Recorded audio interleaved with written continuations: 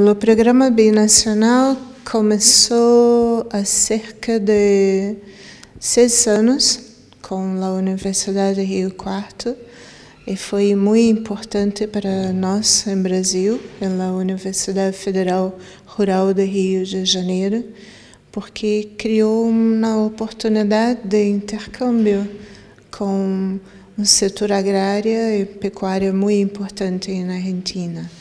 E a associação com a universidade tem sido muito boa, eu creio, para ambos os países e ambas as universidades.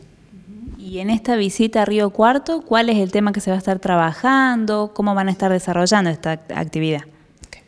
Nesta, nesta visita, nós tivemos uma oportunidade de trazer a reitora da Universidade Federal Rural do Rio de Janeiro, professora Ana Dantas, que foi por muitos anos uh, adiada essa visita por compromissos diversos, eh, momentos um tanto emergenciais no Brasil, ela não pôde vir aqui.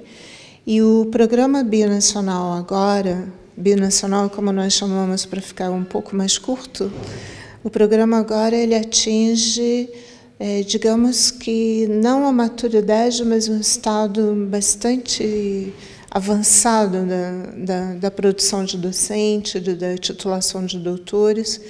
E no Brasil ele está sendo avaliado nesse ano pelo, pela CAPES, que é a nossa agência semelhante ao CONEAL, e ao mesmo tempo aqui na Argentina o programa passa por uma avaliação no CONEAL. Então esses dois momentos são dois momentos importantes porque eles vão nos dar a resposta se nós estamos indo no caminho correto, na, na titulação dos docentes, na produção de uma pesquisa científica de qualidade e no estreitamento das eh, relações.